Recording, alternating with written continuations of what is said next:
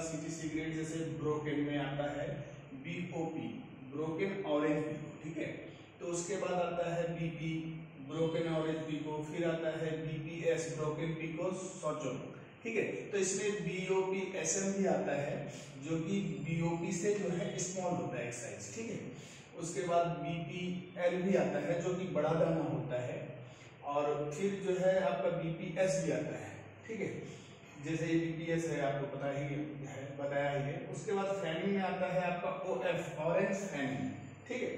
उसके बाद P F है पीको फैनिंग फिर पी एफ़ वन है पीको फैनिंग वन जैसे आप लोगों ने देखा pekoe fanning one P F का जो है वन सेकेंडरी ग्रेड है, ये प्राइमरी ग्रेड है। ठीक है? जैसे ओ एफ़ है ओ एफ़ वन भी है।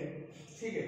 तो उसके बाद डस्ट है। देखिए डस्ट डस्ट में आपका डस्ट ग्रुप में आता है PD pekoe dust okay pekoe dust फिर डी है डस्ट सी डी है चूड़ामणि डस्ट फिर आपको पी डी वन है पीको डस्ट उसके बाद आपका डी वन है dust one R D red dust F D fine dust जैसे कि आपको हम पी डी वन बोले डी वन बोले, इसी तरह यहाँ और ओ एफ़ वन बोले तो इस तरह सेकेंडरी ग्रेड को बोलते हैं, जो वन पढ़ने है वो सेकेंडरी ग्रेड है ओके तो अभी हम आपको दिखाएँगे, इसके बाद जो है ग्रेड जब दिखाएँगे तो आपको बताएँगे ये पी डी वन क्यों है, या बी पी वन क्यों है, या पी एफ़ वन क्यों है, ठीक है?